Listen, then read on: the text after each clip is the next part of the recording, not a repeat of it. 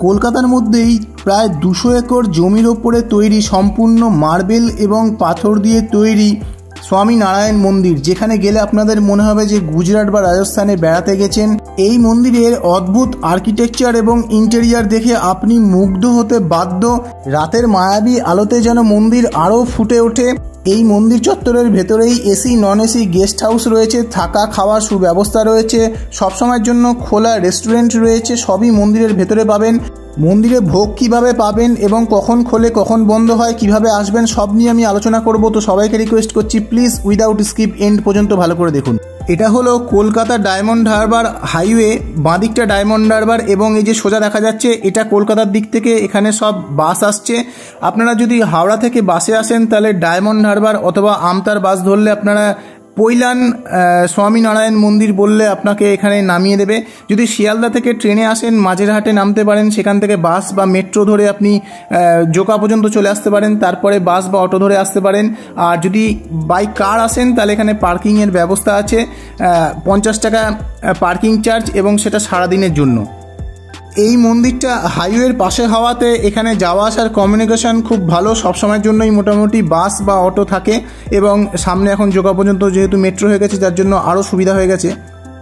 কলকাতার এই মন্দিরটা বানাতে বহু বছর সময় লাগার পরে দু হাজার চোদ্দ সালে আনুষ্ঠানিকভাবে পূজা অর্চনার মাধ্যমে এটা সর্বসাধারণের জন্য খুলে দেওয়া হয়।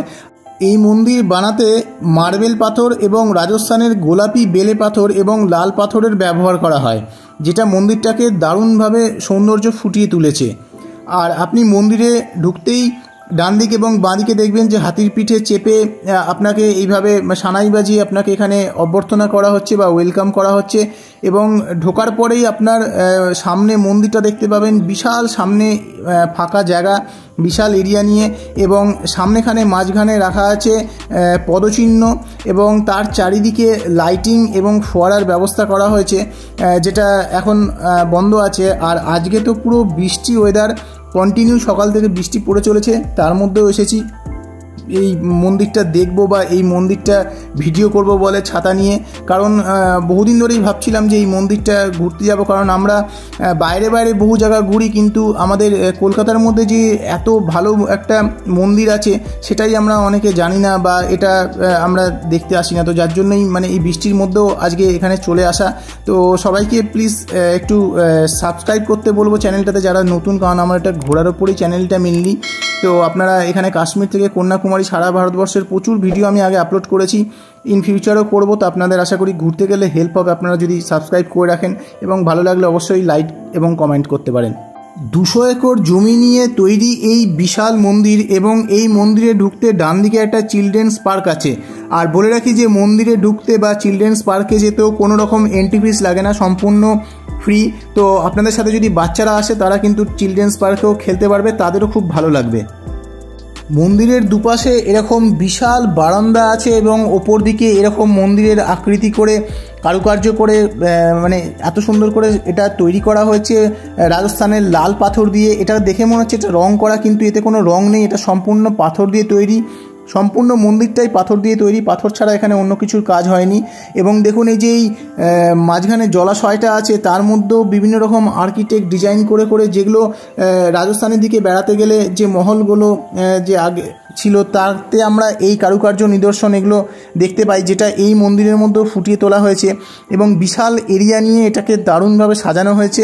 এখন বৃষ্টির জল জমে জমে কিছুটা এর মধ্যে জল জমে আছে। এবং এটা হচ্ছে ডান দিকটা ওটা বাঁ দিকের পোর্শন ছিল, এটা ডান দিকের পোর্শনটা এবং এই যে এই পাথর দিয়ে দিয়ে এই স্ট্রাকচারগুলো ছোট ছোট করা হয়েছে, এর ভেতরে কিন্তু প্রত্যেকটা লাইট সেট করা আছে, যেটা সন্ধে হলে বা রাত হলে জ্বললে কিন্তু দারুণ লাগবে। এই মন্দিরে আসার পরে আপনার একবারও মনে হবে না যে আপনি বাংলা বা কলকাতাতে আছেন। আপনার মনে হবে যে বাইরে রাজস্থান বা গুজরাট বা কোথাও বেড়াতে গেছেন, যেখানে এরকম একটা সুন্দর মন্দির আপনি দর্শন করছেন। দারুণ লাগবে একদিনের জন্য আসতে গেলে। আপনি সকালে এসে বিকেলেও যেতে পারেন এবং মন্দির খোলা বন্ধের টাইম টেবিল বলে দিই প্রত্যেক দিন মন্দির খোলে সকাল আটটার সময় এবং বন্ধ হয় দুপুর বারোটার সময় এবং বিকেলবেলা খোলে চারটের সময় এবং বন্ধ হয় রাত্রির আটটার সময়। তবে যদি আপনি দুপুর বারোটার আগে আসেন, তাহলে মন্দির চত্বরের ভেতরেই থাকতে পারবেন, কোনো সমস্যা হবে না। তবে যদি বারোটা থেকে চারটের মধ্যে আসেন, তাহলে কিন্তু মেন গেটের বাইরে দাঁড়াতে হবে, কারণ মেন গেট বন্ধ থাকে। সবুজ ঘাস দিয়ে এবং পাতাবাহারের গাছ দিয়ে তার মধ্যে হরিণ, বাঘ মানে এই টাইপের জিনিস রেখে মন্দিরটাকে মানে এত সুন্দর করে প্রত্যেকটা কোণা সাজানো হয়েছে যে বাচ্চা থেকে বয়স্ক প্রত্যেকটা এজের মানুষের এই মন্দিরে আসলে কিন্তু দারুণ লাগবে এবং তারা মানে সবাই দারুণভাবে মন্দিরটাকে উপভোগ করতে পারবেন। সারা বিশ্বের মধ্যে পাঁচটা মহাদেশে এই স্বামীনারায়ণ মন্দির আছে এবং পনেরোশো পঞ্চাশটা মোট মন্দির আছে, যার মধ্যে এই কলকাতার মন্দিরটাও কিন্তু এখন একটা অন্যতম মন্দির। এই মন্দিরগুলির প্রধান দেবতা হচ্ছেন স্বামী নারায়ণ, যিনি সতেরোশো একাশি থেকে আঠেরোশো তিরিশ পর্যন্ত বেঁচে ছিলেন এবং একসময় নীলকন্ত বন্যীরূপে বঙ্গোপসাগরের সাগরদ্বীপে হিন্দুদের যে তীর্থভূমি কপিল মুনির আশ্রম, সেইখানে তিনি যাওয়ার সময় এই স্থান দর্শন করে গেছিলেন। আর এই কলকাতার প্রতিষ্ঠিত মন্দিরের প্রমুখ স্বামী মহারাজ পরিকল্পিত এবং সংস্থা কর্তৃক এটা প্রতিষ্ঠিত হয়েছে। মন্দিরের ঠিক বাঁদিকে এইখান দিয়ে নেমে গিয়ে সামনে রেস্টুরেন্ট আছে পিওর ভেজ রেস্টুরেন্ট এবং তার পাশেই ওয়াশরুম আছে এবং তার পাশে গেস্ট হাউস আছে। এটা হলো পার্কিং এরিয়া এখানে বিশাল পার্কিং এরিয়া আছে যেখানে কার পার্কিং সারাদিনের জন্য পঞ্চাশ টাকা, টোটো, অটো তিরিশ টাকা এবং যদি বাইক নিয়ে আসেন তাহলে বাইকের জন্য জাস্ট কুড়ি টাকা সারাদিনের জন্য আপনাকে পার্কিং ফিস দিতে হবে। এখানে গেস্ট হাউসে এসি এবং নন এসি দুরকম রুমেরই ব্যবস্থা আছে। এসি রুমের ভাড়া হচ্ছে পার হেড পার ডে পনেরোশো টাকা, যার মধ্যে ইনক্লুডিং লাঞ্চ ডিনার এবং টি ব্রেকফাস্ট সব কিছু এবং নন এসি রুমে হাজার টাকা।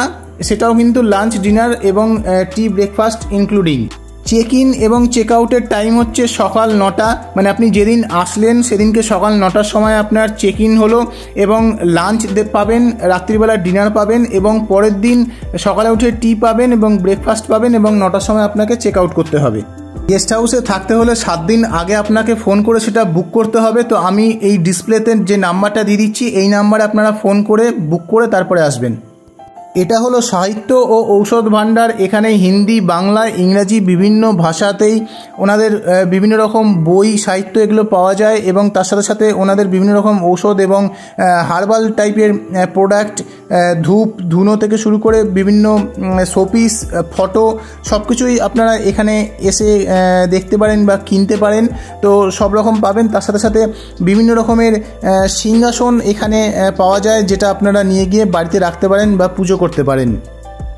আর ঠিক এর উল্টো দিকেই হচ্ছে গিয়ে রেস্টুরেন্ট যেখানে hundred percent pure veg restaurant এবং ভেতরে বিশাল এরিয়া নিয়ে এই রেস্টুরেন্ট দুপুরবেলা যে ভোগ খাওয়ানো হয়, সেটাও এই রেস্টুরেন্টের ভেতরেই খাওয়ানো হয়।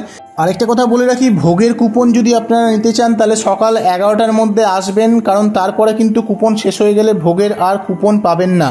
এই রেস্টুরেন্টের টোটাল প্রাইস চার্টের ফটো আমি এখানে অ্যাটাচ করে দিয়েছি, যেটা খুবই রিজনেবল প্রাইস আর এখানে দু রকমের ভোগ হয়। একটা হচ্ছে স্বামীনারায়ণ খিচুড়ি, যেটা পঁয়তাল্লিশ টাকা ভোগের কুপনের দাম। আর একটা হচ্ছে গুজরাটি থালি, যেটা একশো পঞ্চাশ টাকা দাম। এটা স্বামীনারায়ণ খিচুড়ি ভোগ এবং তার সাথে একটা ধোসা, মশলা ধোসা, যেটা নব্বই টাকা দাম। এটা দহি সামোসা চাট যেটা ফর্টি ফাইভ রুপিস প্লেট এটা স্ন্যাক্স হিসাবে খেতে পারেন, দারুণ লাগবে জাস্ট খেতে। আর খাবারের কোয়ালিটিও ভালো কোয়ান্টিটিও ভালো এবং প্রচণ্ড পরিষ্কার পরিচ্ছন্ন যেটা সবথেকে ভালো। এবার আস্তে আস্তে সন্ধ্যা হচ্ছে এবং রাতের আলোতে মন্দিরটা আরও দারুণ লাগছে। তো আমরা এখন মন্দিরের ভেতরে প্রবেশ করব। মন্দিরের ভেতরে প্রবেশ করার আগে এখানে নিঃশুল্ক জুতো রাখার ব্যবস্থা আছে। রাত্রিবেলা জাস্ট দারুণ লাগছে মন্দিরটা এবং মন্দিরের যে কারুকার্য, ভাস্কর্য, এগুলো তো জাস্ট অসাধারণ। মানে এলে দারুণ লাগবে। সব জায়গাতে ভিডিও ক্যামেরা অ্যালাও নয়, ভেতরে ভিডিও ক্যামেরা অ্যালাও না ফটো অ্যালাও নয়। যার জন্য ভেতরটা সেরমভাবে হয়তো তুলতে পারব না, কিন্তু জাস্ট অসাধারণ। এলে চোখের সামনে থেকে দেখলে আরও দারুণ লাগবে এই কারুকার্য এবং ভাস্কর্য। এই মন্দিরে দিনে পাঁচবার আরতি হয়, সকাল ছটায় হয় মঙ্গল আরতি, সকাল সাড়ে সাতটা হয় সিঙ্গার আরতি, এগারোটা পনেরো সময় হয় রাজভোগ আরতি, সন্ধ্যা ছটা পঁয়তাল্লিশে হয় সন্ধ্যা আরতি এবং রাত আটটার সময় হয় শয়ন আরতি। তো আপনারা যদি আরতি দেখতে চান, এই সময়তে আসবেন, আরতি দেখতে পাবেন। পাথরের উপর তৈরি এই কারুকার্য, ভাস্কর্য জাস্ট অসাধারণ লাগছে দেখতে এবং এটা মন্দিরের ওপর থেকে তোলা মানে বিশাল এরিয়া নিয়ে এই মন্দিরটা যারা হ্যান্ডিক্যাপ তাদের জন্য বিশেষভাবে হুইল চেয়ারের ব্যবস্থা করা আছে, যেটা হুইল চেয়ার করে মন্দির দর্শন করতে পারবেন। তো সবাই আসতে পারেন। আর এখানে কোনো পোষ্য প্রাণী প্রবেশ নিষেধ, তাই সাথে কুকুর বিড়াল কিছু আনবেন না এবং শর্ট ড্রেস অ্যালাও না, ছেলেদের হাফ প্যান্টও এখানে অ্যালাও না। মন্দিরের দোতলার অংশে ফটো বা ভিডিও করা নিষিদ্ধ সেই জন্য কিছু ফটো ডাউনলোড করে আপনাদের সাথে শেয়ার করছি। এখানে যে ভগবান আছেন, তিনি হলেন পরম ব্রহ্ম ভগবান শ্রী স্বামী নারায়ণ এবং অক্ষর ব্রহ্ম শ্রী গুণতিনন্দ স্বামী। তারপরে আছেন শ্রী হরিকৃষ্ণ মহারাজ, ভগবান শ্রীকৃষ্ণ এবং শ্রী রাধাজি। তারপরে আছেন শ্রী সূর্যশ্যাম মহারাজ। আর এটা হলো মন্দিরের নিচের অংশ বা নিচের ফ্লোর যেখানে আসলে আপনারা মুগ্ধ হয়ে যাবেন এই কারুকার্য দেখে, এই নকশা দেখে আর্কিটেক্ট ইন্টেরিয়ার মানে সব অসাধারণের সাথে অদ্ভুত এই লাইটিং আর এই মন্দিরের ঠিক মাঝখানে আছে স্বামী নারায়ণজির সোনার বিগ্রহ, যেখানে আপনারা মাথায় জল ঢেলে অভিষেক করতে পারেন এবং এখানে প্রসাদ পাওয়া যায় পঞ্চাশ টাকা করে। আর পিছনে নিচের ফ্লোরেই এই ভগবতজি মহারাজের এখানে মূর্তি আছে, যোগীজি মহারাজের মূর্তি আছে, শাস্ত্রীজি মহারাজের মূর্তি আছে এবং প্রমুখ মহারাজের মূর্তি রয়েছে। বন্ধুরা, আশা করি ভিডিওটা ভালো লেগেছে। যতটা সম্ভব আমি ইনফরমেশান দিয়েছি, মন্দিরে আসার জন্য এবং সব তথ্য দিয়েছি। তো ভালো লাগলে লাইক করুন, চ্যানেলটাকে সাবস্ক্রাইব করে রাখুন, কারণ আপনাদের ঘুরতে গেলে এই, আশা করি আমার ভিডিও দেখলে আপনারা হেল্পফুল হবেন এবং আশা করি সব রকম ঘুরতে যাওয়ার ভিডিও আপনাদের ভালো লাগবে। তো দেখা হবে নেক্সট ভিডিওতে এখন এখানেই এন্ড করলাম।